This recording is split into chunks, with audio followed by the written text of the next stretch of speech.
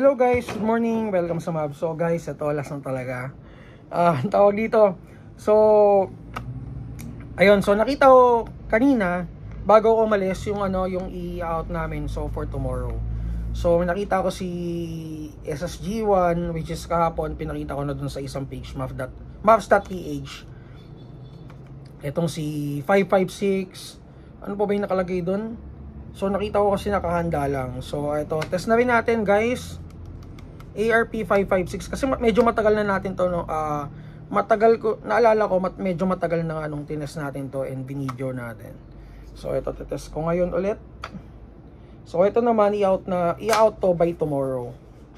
Okay, so gumagalaw tong ano um yung pinaka-stock niya kasi tinanggal ko yung lock. Okay, so So si GLG guys uh, is uh, isa sa mga quality and uh, recommended units uh, sa atin. So tayo ayusin ko nga lang yung ano ko. Yan. Isa to sa mga recommended. And bakit siya recommended? Kasi syempre doon sa quality uh, ng unit and syempre doon sa performance sa pinapakita niya out of the box. So isa to sa mga talagang uh, reliable din uh, together with the uh, ENC. Reliable to guys Meaning, uh, hindi siya hindi siya mataas yung FPS niya. FPS niya out of the box is around 100 uh, 100 tuloy. 330 to 350. So hindi naman sobrang taas. Dito kasi sa PH, ang FPS natin is or ang standard FPS natin is around 450. Sa mga CQB sites is uh, it's around 400, 420. So ito si GNG nasa 330 to 350. Yung iba na ano sila na the turn off, parang ganun. Uh, parang iniisip nila na hindi quality pag hindi malakas yung FPS. So, mali yun. Uh, hindi, kumbaga, yun isang ano eh, isang uh, bagay na mali talaga or or uh, yung mindset ng mga newbies na pag mas malakas, uh, mas quality to, uh, mas okay to. Uh, pero ito guys, sobrang accurate nito, sobrang layo ng range. Isa to sa mga naalala ko, uh, nag, uh, before kasi um, naglalaro talaga kami ng wife ko. So is ito ito yung gamit niya. Isa to sa mga nagustuhan niya talaga na unit kasi nga sobrang reliable and sobrang accurate. Talagang kung saan mo siya zinero, yung lipad ng bala, lipad ng BB, maganda. Sobrang ganda. And sobrang ano, ganda ng groupings niya guys. So, mababa lang FPS niya kasi usually naman sa ibang bansa, mataas na yung 400 eh uh, 350, 300, okay na sa kanila. So, yun yung uh, talagang ano. Kaya minsan na, nahihirapan din ako magpaliwanag sa mga newbies, sa mga baguhan. Na si GNG maganda yan, tapos makikita nila FPS, uh, mababa. Meron pa ako dito, uh, natandaan ko, na turn off sila sa ENC kasi may mga batch talaga ng ENC na mababa talaga yung FPS. Kumbaga hindi yan standard eh.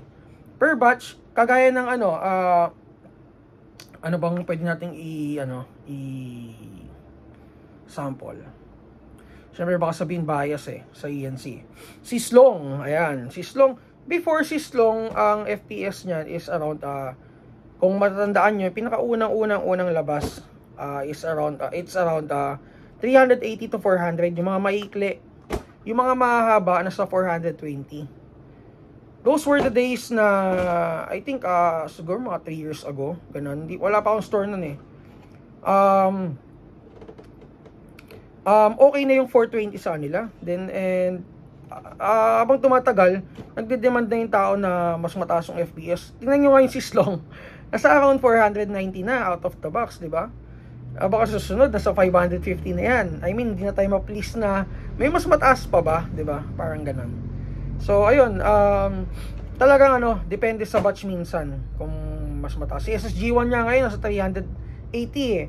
Kahapon tinas namin, which is before, nasa 330 lang siya to 350. So, dapat nasa 330 lang siya to 350 kasi nga, ginagamit siya pang, pang ano, pang CQB tuloy, pang speedball. So, ayun, uh, so, depende sa batch.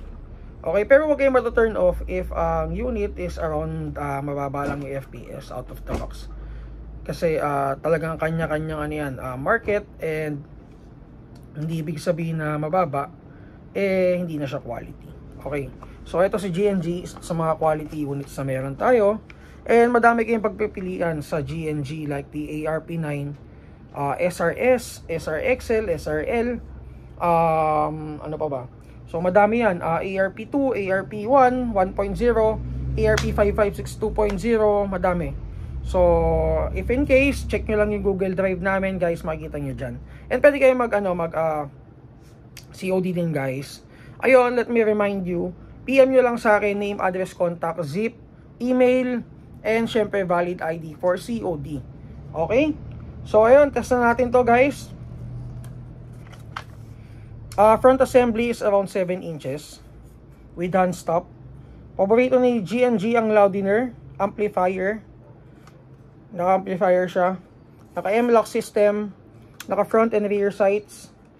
Receiver niya guys, madalas sa GNG. Yung mga high-end niyang ano, metal, may metal. Pero sa mid variant niya is naka-polymer lang siya guys. Polymer receiver. So doesn't mean na mas matibay ang metal compare sa polymer. Parehas lang yan. Si GNG naka high grade polymer material. Okay? So naka polymer GNG grip adjustable PDW stock. So, ang kagandahan dito guys, yung battery compartment niya, kasya ang 2.2 LiPo. Okay? So, anong 2.2 LiPo yan? Storm power. Sensya na kayo guys ha. Yung battery namin na to, sobrang tagal na sa amin ito, storm power. Hindi kami na sisiraan or nababastidan ng battery. So, may mga battery kami dito. Although, uh, nakaganito na siya. Ganito na yung mga itsura niya. Pero, working pa rin siya. Kasi kami, pag nagalaga ng battery, before pa ito malobat, charge na namin. Hindi namin to iniiwan na lobat, hindi namin pinapabayaan malobat. Kasi pag ang lipo na lobat, masisira yan. Okay? So, tamang pag-aalaga lang ng battery. So, ito guys, GNG 300 rounds na magazine.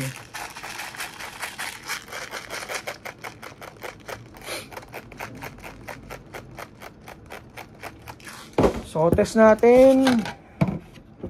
With ETU pala to guys ha. So, ano ba yung ETU para doon sa mga bago natin? So, ito yung nagko-control dun sa trigger response mo. Kaya pansin mo, pag yung naka-ETU, sobrang responsive ng trigger response. Tapos, may ano na rin to, MOSFET. Para dun sa battery, syempre. To protect the ETU. So, ah, MOSFET tuloy, it, ano to, ah, fuse, sorry.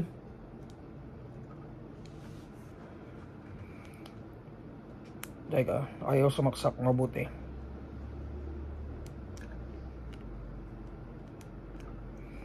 Ayaw niya sumaksak ah. Parang ayaw magpates. Yan.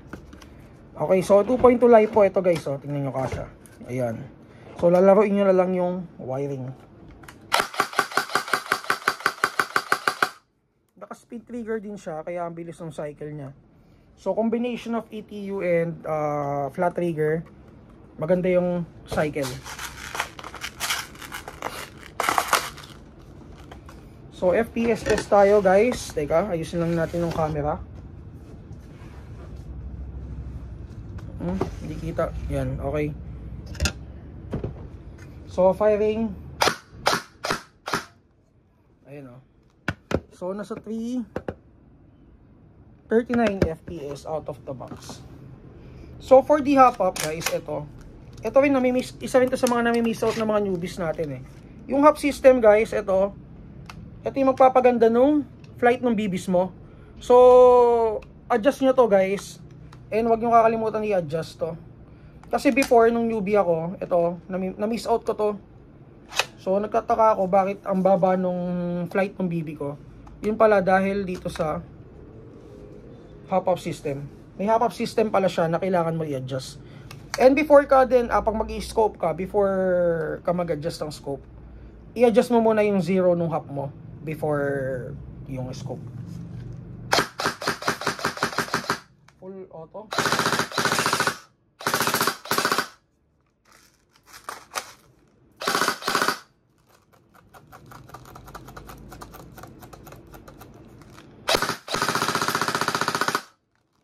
So, nasa 350 FPS siya out of the box. Okay. So, ito guys. So, So, yun. Thank you. Thank you din sa kumuha nito sa mga unit na to. Madami to, guys. And by tomorrow, siguro try natin i-test yung iba. Okay, so may wild dog pen, wild dog, ano pa ba? SSG1, test din natin by tomorrow. Okay? So, yun. Again, happy weekend sa lahat. And kung may mga tanong kayo regarding units, mag-PM lang kayo sa store.